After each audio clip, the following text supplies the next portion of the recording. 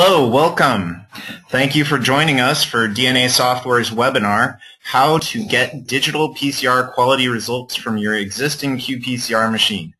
My name is Greg Boggy, uh, and I'm joined by Dr. John SantaLucia, DNA Software's president and co-founder. Uh, without further ado, I'll go ahead and jump right into it. Uh, and uh, uh, before I get going, I would just like to uh, give you a, a quick uh, timeline. It's going to be about a 30-minute presentation, a five-minute demo of qPCR copy count, and John and I will answer questions at the end. If you have any questions, please take note of the slide number uh, for your question. And for example, this is slide two. Um, all right, quick outline of the talk today. Uh, first, we're going to go over some limitations of CQ-based methods, and John will handle that. He will also be talking about what we call counting PCR, which is a novel method uh, that we've developed, and it underlies qPCR copy count. Uh, third, we're going to go over what every qPCR user should know about the PCR mechanism, and I will be covering that topic. And John will then talk about some case studies using qPCR copy count and how qPCR copy count gives you digital PCR quality using your existing qPCR machine. Finally, we will be going through a qPCR copy count demo and then we will answer some questions. So I will hand it over to John now who will be talking about his topics. All right, thank you, Greg. Uh, welcome everyone to the webinar. Um, I thought I'd give a brief introduction about who DNA Software is, first of all. Our company was founded in year 2000 to commercialize discoveries that were initially made in my laboratory at Wayne State, but then to go much further than that uh, in commercializing the state-of-the-art in diagnostic design and most recently um, analysis of PCR. Uh, our, our company has been funded by nine NIH grants. And we work with some of the largest customers in the world in a variety of segments.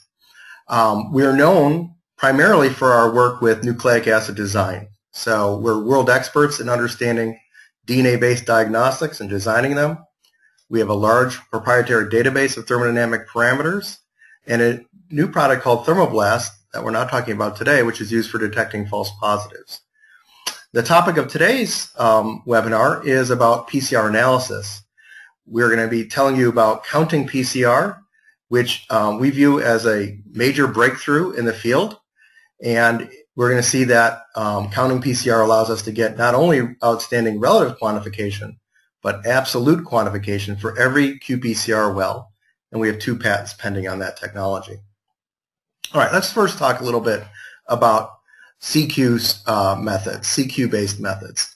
So um, Perhaps the most widely used method for getting absolute quantification from qPCR is to make a CQ standard curve, which is shown here. And the question is, how do you get DNA concentration from such qPCR data? Well, currently um, what we do is what most scientists do, is they um, measure the unknown of their native data set. So they would measure a qPCR curve for their unknown. Then they would make a series of dilutions with known concentrations of DNA. To do so, that requires um, the availability of purified target with uh, a known amounts of that purified target. You then calculate the CQ values for the different um, uh, different dilutions, as shown here, and make a plot that plots the um, CQ versus the copy number, the log of the copy number. So then you just look on that plot, well, where is my unknown CQ value compared to where it is on the plot, and from that you can derive the log of the copy number. Now a problem with this method is that it's laborious. First of all, it requires you to have a purified target and a purified target that's been um, quantified. Further, you have to run the standard curve. So that uses a lot of the real estate on your qPCR plate. So it's much lower throughput than what we're going to, we're going to be sharing with you today. It also introduces inaccuracies into your process because um, it re requires you to perform a lot of pipetting operations and the standards themselves can have error in them, which introduces error in the whole process. All right, another use for CQ-based methods is for relative quantification. So the CQ itself, the quantification cycle number, is not interpretable in terms of absolute or relative quantification. The CQ depends on the instrument that you ran your PCR on, the algorithms that were used to fit the data, and the assay itself, that is the primer design, the master mix, etc. So all of those things make a CQ value uh, hard to interpret. So um, I showed a method earlier for absolute quantification with a standard curve. The other way is to compare two CQ values with a delta CQ method. Um, one problem with this method is that um, to get an accurate relationship between delta CQ and relative quantification, you need to quantify the efficiency of the reaction. Now, a common misconception about the efficiency is that it's constant. And that we'll see later on in the talk that that assumption of a constant efficiency is not correct. All right, so shown here, that's built right in to the equation for getting the relative concentration of your DNA sample compared to your calibrator. This efficiency single number is built right in, and, and that is a source of error in the process. All right, so how do we come to use, to rely on CQ as a field? Um, well, going through the history of PCR, certainly the early days of using a standard curve in 1993, so more than 20 years ago, um, you know, that method has been a tried and true method. Um, and then later on, developing the relative quantification methods, and then later than that, in year 2002, introduction of curve fitting methods. But really, I think the field has come to rely on CQ because it didn't have any alternative to CQ. And today we're going to share with you some what those alternatives might be. All right, so I'm going to introduce this new concept that we call counting PCR or CPCR. So this CPCR is based on a new principle in which each copy of DNA is literally counted for each cycle of the PCR. We then perform a mechanistic analysis of the shape of the PCR curve to reveal the absolute copy number at cycle number at cycle zero. Um, one common misconception is that people think that our counting PCR is the same as digital PCR. It is not the same. It's completely different. All right, we do not use a digital analysis of replicates of zero and non and non-zero copies. We don't do that. In fact, a single qPCR well is sufficient to perform our counting PCR analysis. If you do perform replicates, that's okay. It will give you lower error bars. All right, so let's give you a conceptual idea of how counting PCR works. Consider the problem of counting apples in a basket. All right. So one way to count the apples in the basket would be to brute force pull the apples out one at a time and count them. A more efficient way to count the apples in a basket would be to weigh the basket, weigh the entire basket full of apples, and then subtract off the weight of the basket. That would give you the weight of all the apples alone. And then dividing by the weight of one apple would give you the number of apples. So weight of all apples divided by weight of one apple gives you number of apples. All right, now let's see how that applies to PCR. So here is, instead of counting apples, now we're going to count DNA. And so here the idea is we go to our PCR machine, and at each cycle of PCR, we measure the total fluorescence from DNA, uh, which is shown on the tube on the left here. We'd measure the total fluorescence in our tube, and we would subtract out the background fluorescence. All right?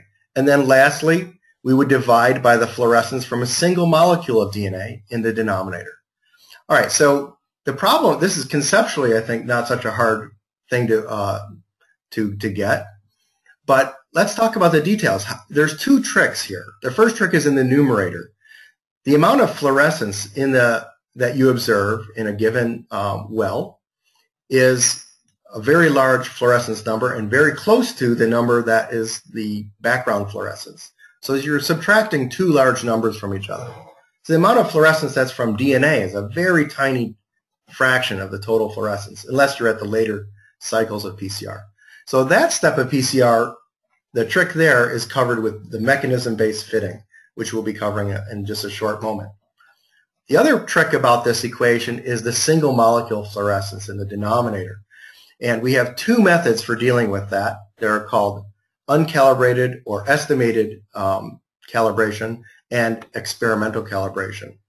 All right, so to do an estimated calibration, um, we have developed a series of empirical mathematical equations that allow us to estimate the calibration for a single molecule based upon the details of the assay that the user provides, which includes the sample volume, amplicon length, the concentrations of primers and probes, and whether or not the probe contains a minor groove binder or not.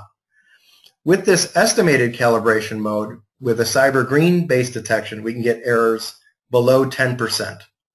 With TaqMan based detection, we get calibration errors that are in the 20 to 40% error.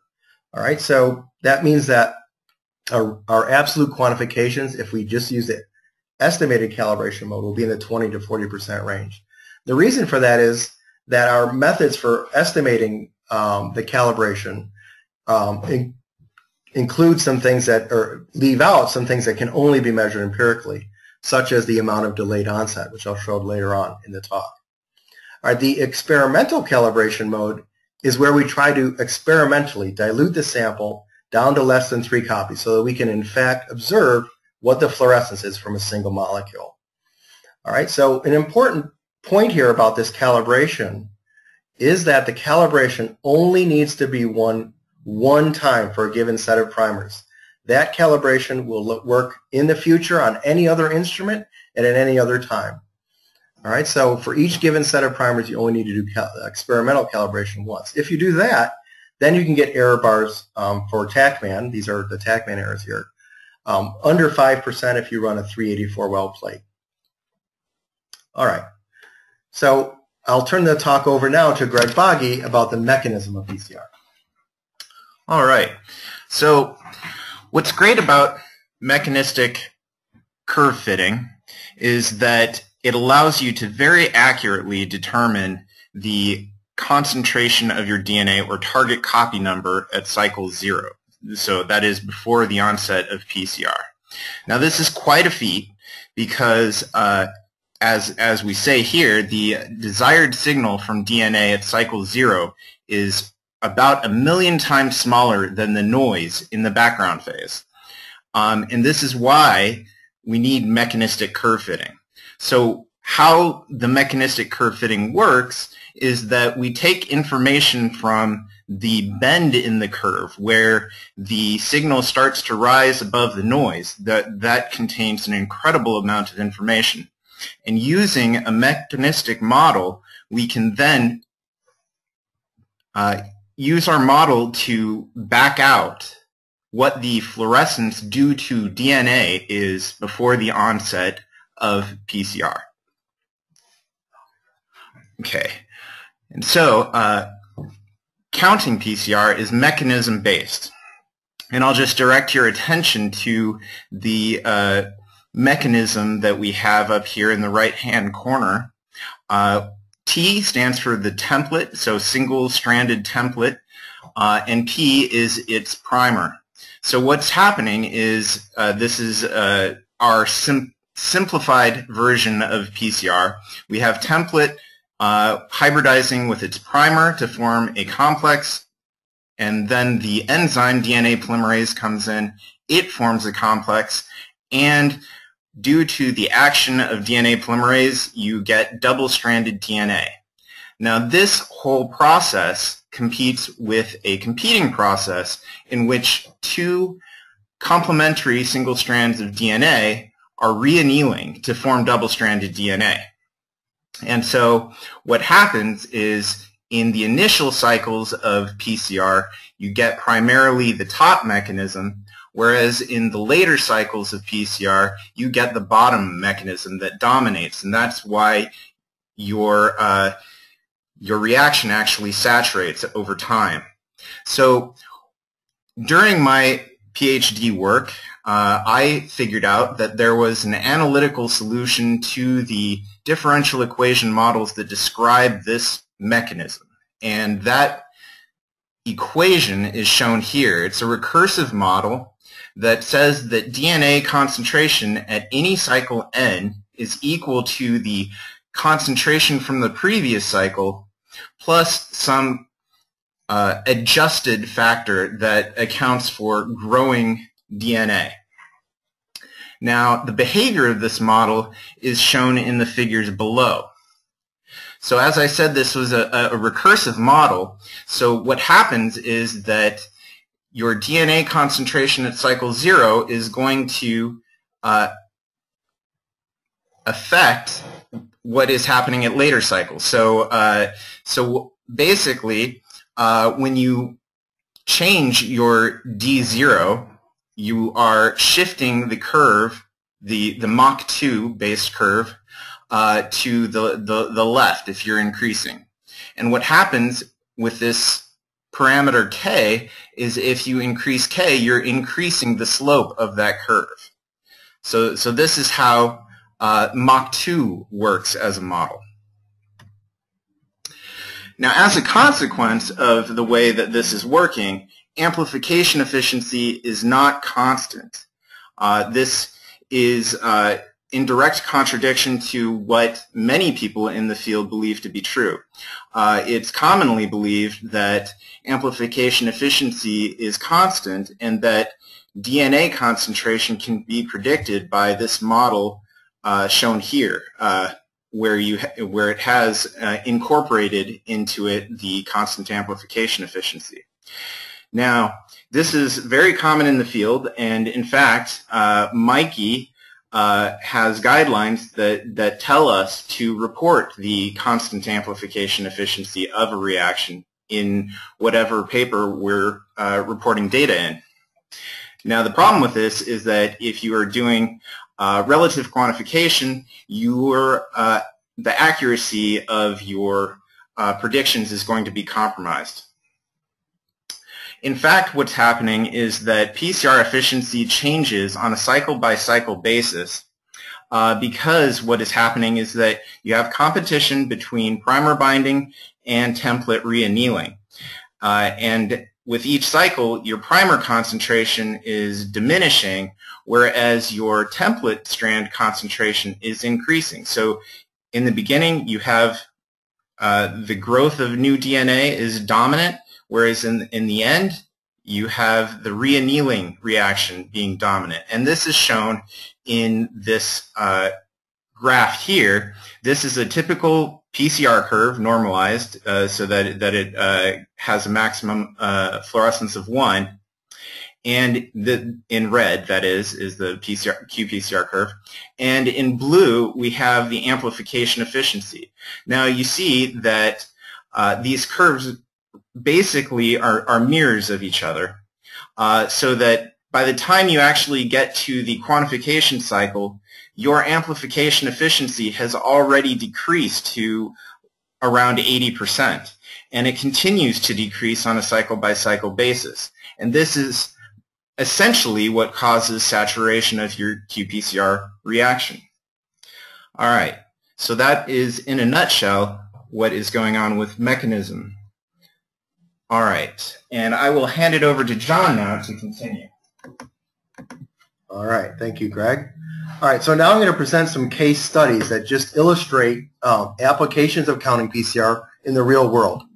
Um, to do so, I'm going to give you a little historical background to how we came to discover PCR, uh, counting PCR.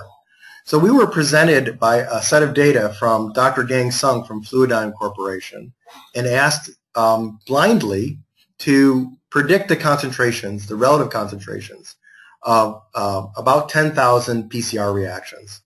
We gave him those results. Uh, we, he gave us the data blindfolded. Um, he then informed us that, in fact, there was the, the data he'd given us was a series of replicates with 72 replicates each in a threefold dilution series. And he gave us this uh, plot that I've shown here.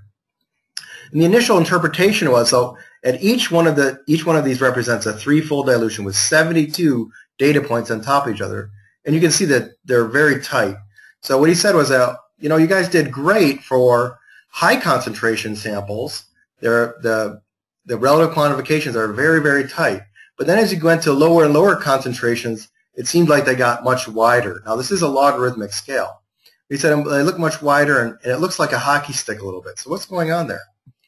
Well, we analyzed that data further and realized that we could learn something by taking the average of each of those data points. All right, so if we take the, set, the groups of 72 and average them, we get the next plot. Now, in doing this, we had a small revelation, which was that at the lowest concentrations, some of the wells, in fact, had zero molecules. In fact, at this lowest concentration over here, 12 of the wells had um, signal, PCR signal, and 60 of the wells out of the 72 had, had no signal. At the time, we were confused by that, but of course, it just means that we have a very low concentration. And so we realized that zero is a real number and should be averaged in. This actually points out a problem with the CT-based method, which there is no CT value that corresponds to zero molecules. And that leads to problems with um, uh, systematic errors, actually, with the low dilutions found in the CT curve. Anyway, at this place here, we saw that once we averaged in the zeros, included those in the average, we observed that we had linearity over more than six orders of magnitude, from very high concentrations to low concentrations.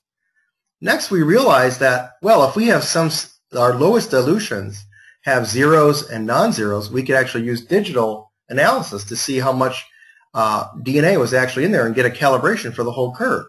So we did that, and at the time, um, if we used the lowest dilution, which I, as I mentioned, had uh, 60 wells that were zeros and 72 that were positive, or, 70, or 12 that were positive, if you plug that into this equation for digital, we could pin this lowest point to be 0.18 copies on average in the 72 replicates. Once we did that, we could reveal the absolute copy number on this axis here. All right. We, so then we realized that we that the highest concentration sample he gave us was a million copies, and it went all the way down linear below even one molecule per well on average. All right, so at this point we were still using digital PCR uh, analysis, so we didn't really advance the field much.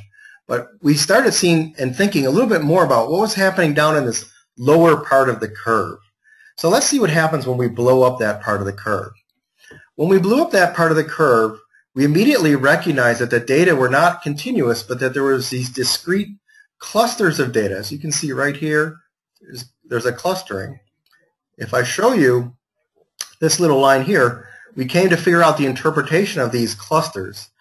So all of the all of the PCR reactions that have signal in this range correspond to having a single molecule in the PCR reaction at, at cycle zero. And then this group, this cluster here is two molecules, three molecules, four molecules, five molecules, all the way up. So we were able to reveal the quantized nature of PCR. This is only observed when we use mechanism-based fitting that we can see this effect. Now there was something else interesting in this, which was we uh, did observe a few cases right here. It's kind of weak to see, but right there, there's a point that has exactly half a molecule. And for a while, this confused us because how can you have half a molecule? There's no such thing. So we realized that, in fact, this was one molecule of DNA delayed by one cycle. So there's this new effect called delayed onset of PCR, and we've actually figured out how to quantify the amount of delayed onset, and that is dependent on the primer design and on the template, the GC content of the template. All right.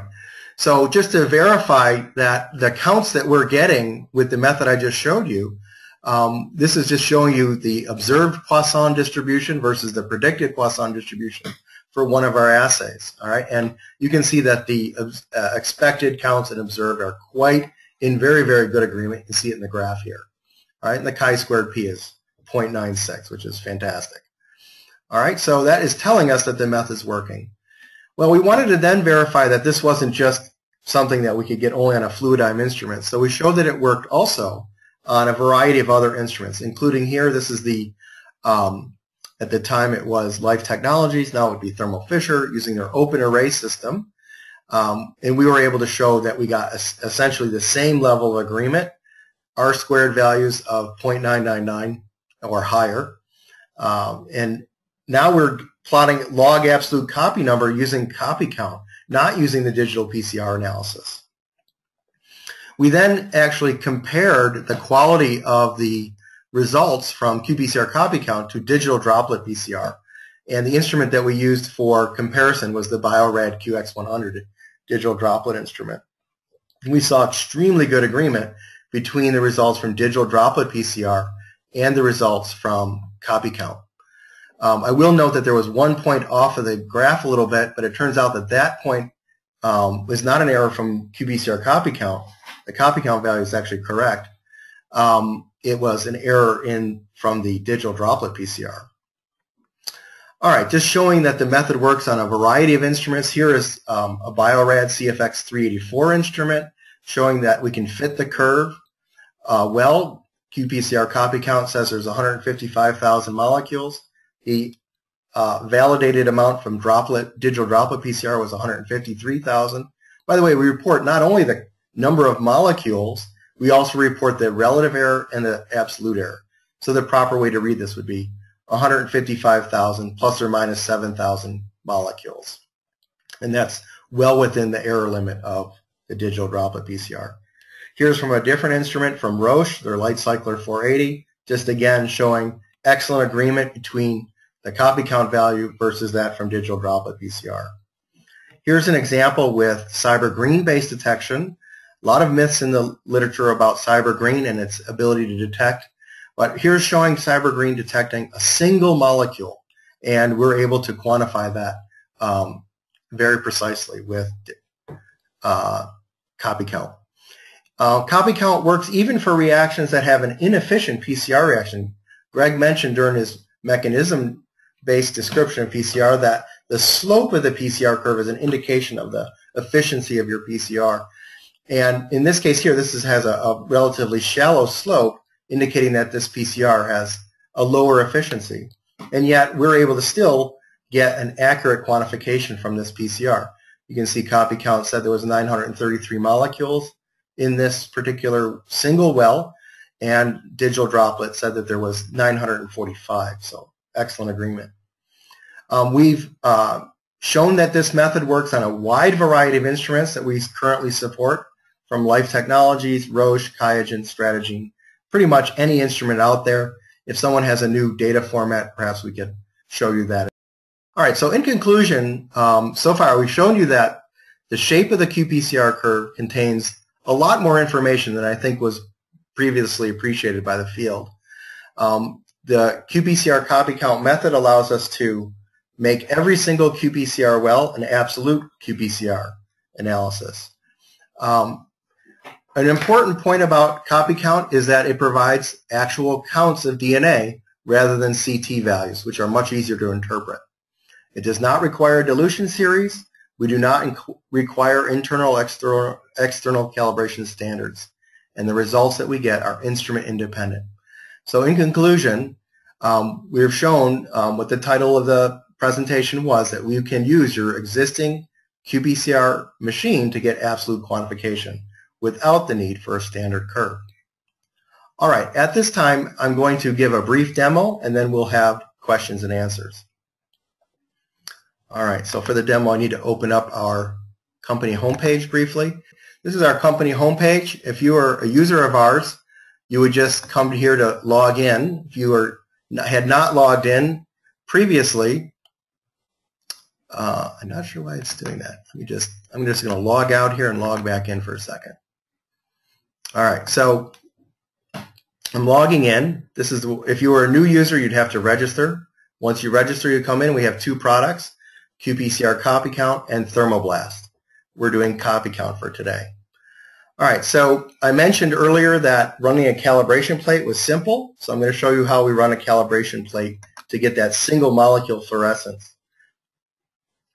All right, so we just click on that. On this window, we're going to load in our PCR data. All right, just got to go to this here.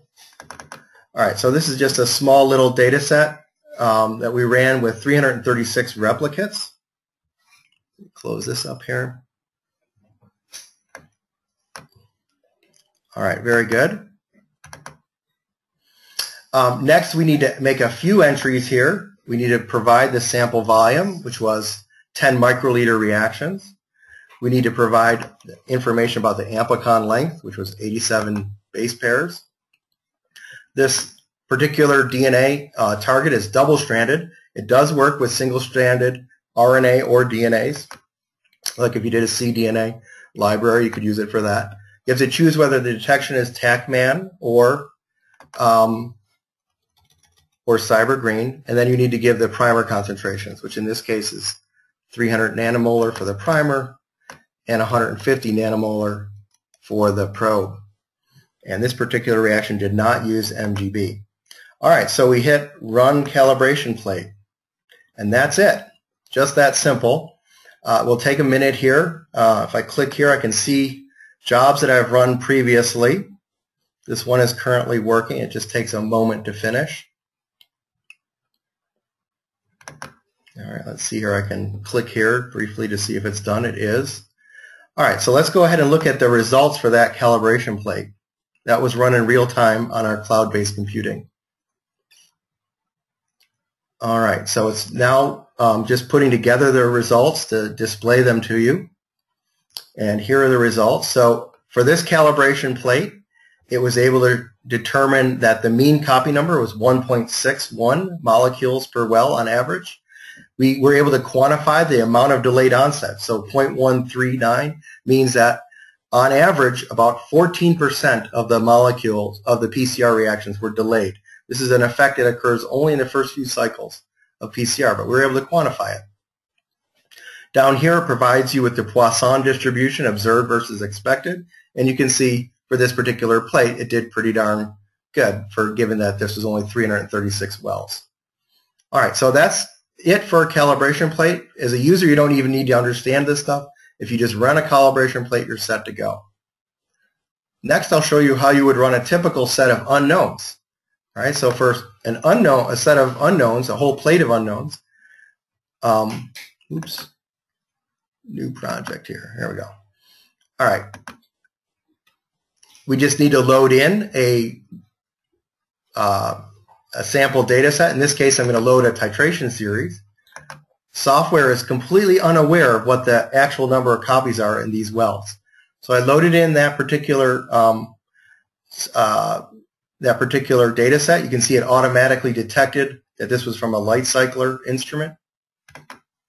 Next, we need to just provide it now with uh, the volume of the reaction. A very important parameter in PCR is the total reaction volume, 10 microliters in this case. Oops. And then all we need to do is provide the assay that corresponds to this. this. We need to tell it that, hey, this is an existing assay. This is something we've done before. I need to find this particular one I just did. What was it? What was it titled? I have tons of, you can see how many assays I've run before. Any of these will work. There we go. All right, this is the one that I ran. So I'll select that. You can see how many assays I've run, thousands. Okay, so we then just say proceed with these. Um, it automatically recognized that there were groups of replicates in that um, data set, which the user had called dilution 1, dilution 2, etc. All right, let's see. I think I have one more click to make here. Yeah, submit job. All right, and that's it for your unknowns. Now, remember, you never have to run that calibration plate again. That's a one-time event. So I could run, you know, thousands of uh, unknowns in the future, plate unknowns, and we can see it. So here it is here. This already finished the job, so we can take a look at it.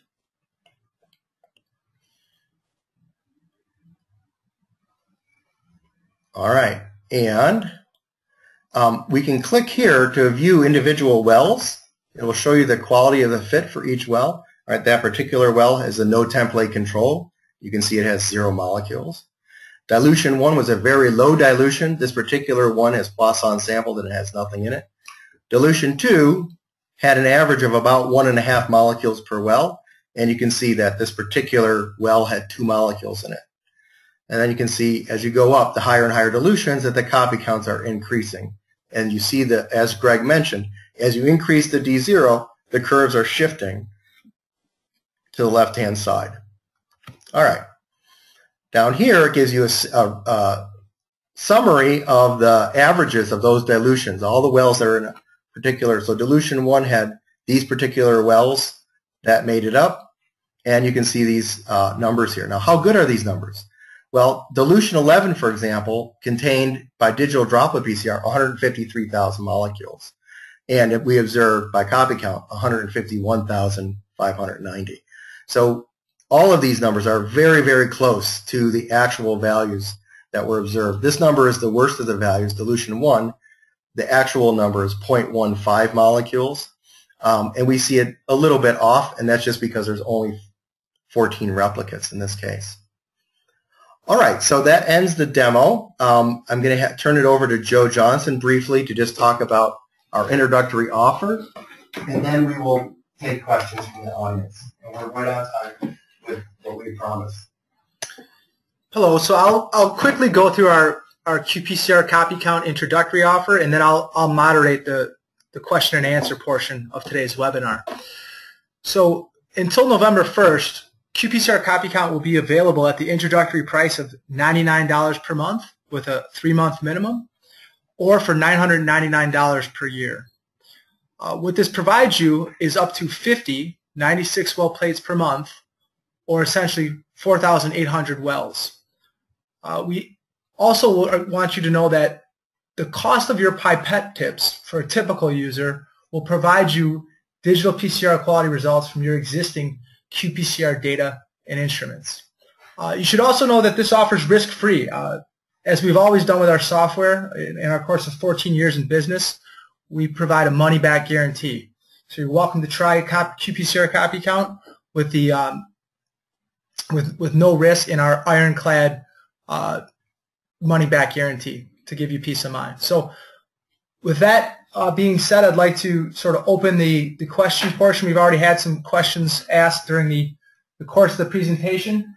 If you have a particular uh, piece of information, please reference a slide or title or, or slide number even. That will be helpful to us as we uh, back up the presentation and address that, that point. So, and of course, uh, this is a listen only mode at this time. So type in your questions uh, in the in the type in field on the, the right margin. So the first question was, will pricing be covered? And, and that's, uh, that's why we went to this slide. And uh, hopefully that answers questions. If there's more, feel free to contact me uh, directly. It's Joe, J-O-E, at dnasoftware.com. And I'd be happy to answer any pricing questions you might have. Uh, the next question I see is, does DNA software just provide software, or do you also offer consulting services? I'll, I'll give that to John. Um, yep. In the 14-year history of our company, we have um, prided ourselves in um, tackling some of the most difficult projects in the field. Um, we do that both with our design services as well as for CopyCount. So we've done some very large contracts already with um, pharma and diagnostic companies to um, validate qPCR CopyCount and to show that it works for their particular applications. The next question is, has this uh, research been published? So we, we have a white paper that I'll, I'll share with folks following up the webinar, but I'm going to give that to Greg, who can speak to some of our, our publications. Yes, so uh, the original uh, paper on MAK2, uh, which I uh, talked about before, uh, was published in 2010 in the journal PLOS One. Uh, and there was a, another paper that was a comparison between 10 different novel uh, qPCR quantification uh, methods, and uh, that was published in 2013 in the journal Methods. Uh, so, yes. There's also a, a lot of content on our webpage that um, users can go about. There's a nice section in there about what is counting PCR and some of the validation studies. All right, any other questions? Yeah, another question is why is this cloud-based software? Uh, why, wh I'm sorry, why is cloud-based computing good for this application? Mm. This is good for this application because um, the models that we're running are very sophisticated and um, the amount of computation that we're doing, the cloud allows us to do this in a scalable fashion. It also allows us to support our customers better with um, uh, the latest updates of our software. We just update the cloud, and it prevents users from having to contact their IT departments in order to get permission to load on the new version of the software. So there's actually a lot of advantages. It also allows us to offer to you at a very low price. Um, and users don't have to futz with different versions of software. So another question is, what are the most common applications of CopyCount? Um, so far, most of our users have used CopyCount for um, mRNA quantification and for copy number variation. Um, so we've had people from uh, academic institutions um, who've used it for that. Uh, for both of those, we've had uh, mainly for the um, expression analysis. We've also had users from um, large diagnostic companies who've used it for uh, quantification. Some agricultural companies have used it for the copy number variation. Uh, we're hoping that in the future we'll be able to validate the viral load uh, applications. I showed you one slide on that. Um, and that's something that's a work in progress. Uh, and also we're interested in applying CopyCount to um, next generation sequencing or quantifying fragment libraries. Uh, we haven't demonstrated that yet. Uh, one of our customers actually has, has used it and told us it worked, but we haven't validated it in-house yet. So we're hoping to bring that out later. Okay, the next question. I understand that I can calibrate with one reaction volume and then run samples with another reaction volume. Is that true? Yes, that is absolutely true. It's one of the novel aspects of our technology is that when you run a calibration, uh, it's really only dependent on the composition of the primers and master mix. So once you run it for one, you have to give the correct volume when you run the calibration curve, and you have to give the correct volume when you run your unknowns. But having given those, uh, you never need to rerun. So for example, we have run calibration curves on the open array, which has 33 nanoliter volumes, and used that calibration on instruments that had 96 well plates that had um, volumes all the way up to 100 microliters. Actually, one of our customers did that, uh, validated that the method worked, even with that extreme, six orders of magnitude change in volume, and the method was able to calibrate just fine. Okay, the next question. How do you take off the background accurately? Isn't there a lot of error in the background fluorescence? Great question. Um, you know, we are doing mechanism-based fitting. So the mechanism um, has a very particular shape. So when we're analyzing that qPCR curve, we're pulling out the component of the shape that is from that PCR. Whatever is left is the um, background. And so we actually very, very rigorously subtract that background on a cycle-by-cycle basis. So that's one of the tricks about how we do what we do. Okay, another question. What are the procedural challenges with generating a calibration plate? How easy or difficult is it to find the appropriate dilution to greater than three copies? Less, Less than than three copies, I'm sorry. Okay, that's a good question. Um, so we have on our website a nice little two-step calibration procedure. So what we recommend users to do is to um, just take their any DNA target amount. You know, I know that there's a little bit in there, some amount, um, and run it in uncalibrated mode, where we use the estimation for the calibration.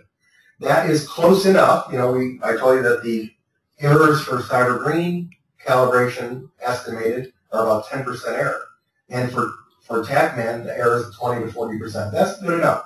So what we recommend is that they run a, a quick um, one sample to four sample um, uh, calibrate, uh, uncalibrated mode. That gives you an approximate copy number and tells you exactly how to dilute your sample to get it below three molecules per well. So it's actually pretty easy to do it. Okay, another question. So once you have the calibration and you can apply that to any sample run with the same primers and conditions, review why I can use this calibration for samples run on any instrument. Oh, that's a fabulous question. So, unfortunately, I can't really tell you how we do that, but it is true that if you run uh, the calibration on one instrument at any volume, as long as you know what that volume is, you can run it on other instruments. So, uh, we've actually performed, we had one instrument manufacturer who um, tested that claim very rigorously They tested it with um, five different instruments, with um, five different volumes on each instrument, using five different assays on each instrument. So they did 125 different assays in order to validate that claim. Uh, we've had other customers um, also test it and show that it uh, worked as claimed. So yes, we can do it. Um, we can't really tell you exactly how we do it, except for to say that it's not voodoo. It's all based on deep knowledge of the mechanism of PCR. Okay. Next question. What types of customers do you have and, and who buys CopyCount? Okay, well, um, we've had um, customers from academics. So we've had a customer that did a large um, contract for the Department of Defense at an academic institution, and um, they uh, purchased CopyCount, uh, licensed a CopyCount, and used it for that, validated it. We've had customers, as I mentioned, from the agricultural uh, community. So we have two large ag companies that have um, tested our software, one of which is using it, one of which is um, uh, currently evaluating it as, uh, still. Um, we've had customers from, um, well, we've had a, a, number of large diagnostic instrument manufacturers who have validated the technology. We're working with those companies to see if they would be interested in incorporating CopyCount into their instruments, but that hasn't happened yet.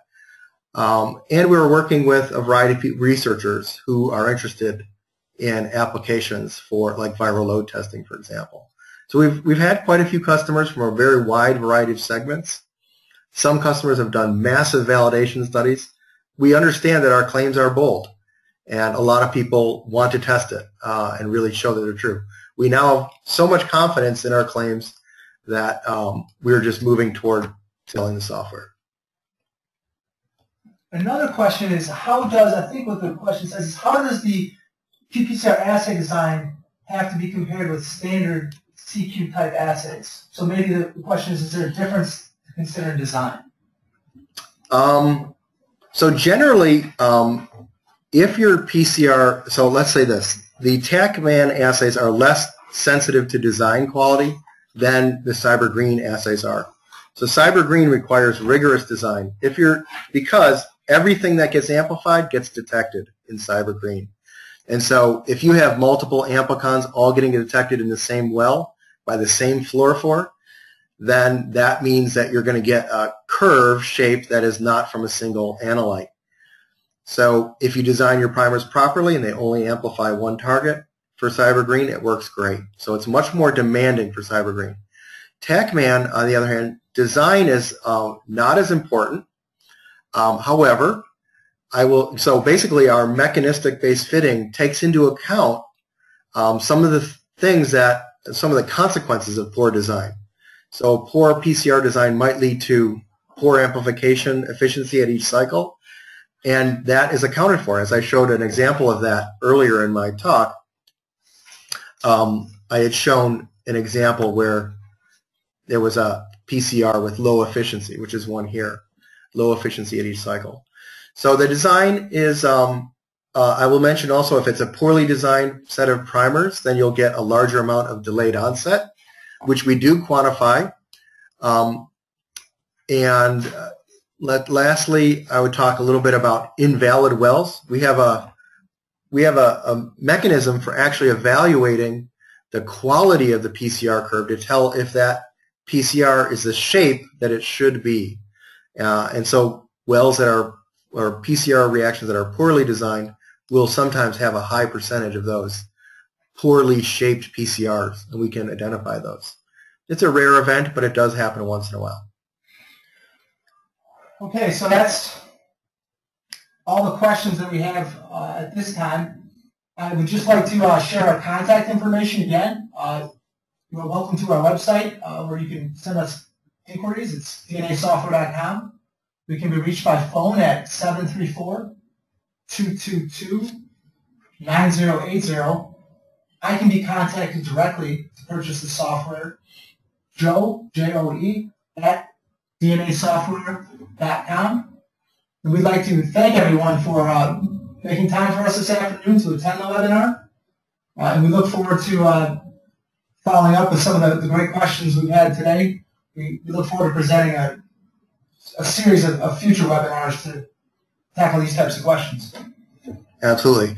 Um, users are welcome to contact me directly, John SantaLucia, john at dnasoftware.com, or Greg Boggy. Greg, G-R-E-G, at dnasoftware.com. And we'll be happy to answer your questions. Thank you. All right. This ends this webinar. Thank you, everyone, for attending. Bye-bye.